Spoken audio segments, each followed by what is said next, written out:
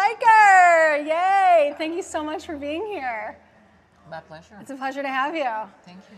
So, can we talk about your fitness diet a little bit? Can we t- tell me everything?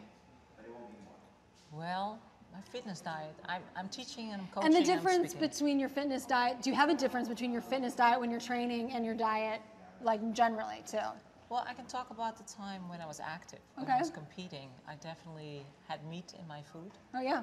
I felt, I always said, until I retire, then I'll become a vegetarian. Yeah. Because the meat, the protein, and the aggression of the animal I needed to compete. That's so interesting. You Yeah. actually felt the, like you needed that aggression. That's interesting. If you eat meat, do you think in general people are more aggressive? Yeah, I am. Yeah. So, Interesting. I remember I did Fit for Life uh, many years ago. and Okay. When I did, I, wanted to retire. I didn't want to fight back. I didn't want to hit back. So it definitely made me more passive, more friendly, more forgiving, more loving. Yeah. So good I put the meat right back in my food so I could keep knocking them out.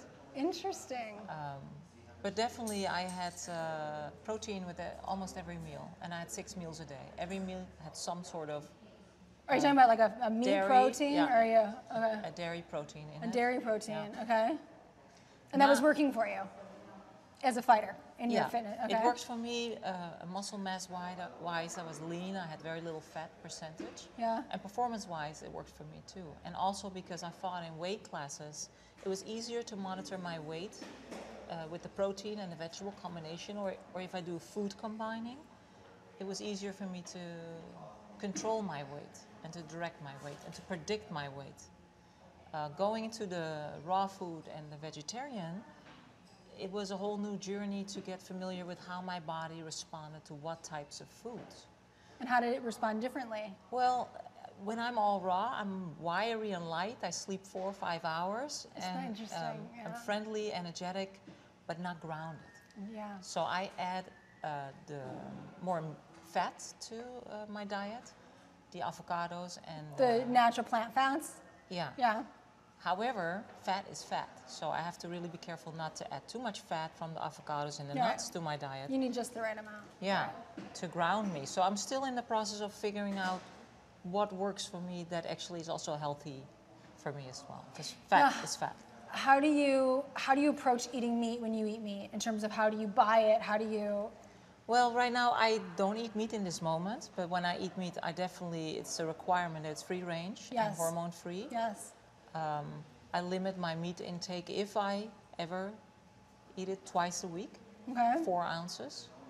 Um, I like to cook because I like to know where my meat comes from, and if I eat out, Mm-hmm. I ask, "Where's the meat from? What's in it?"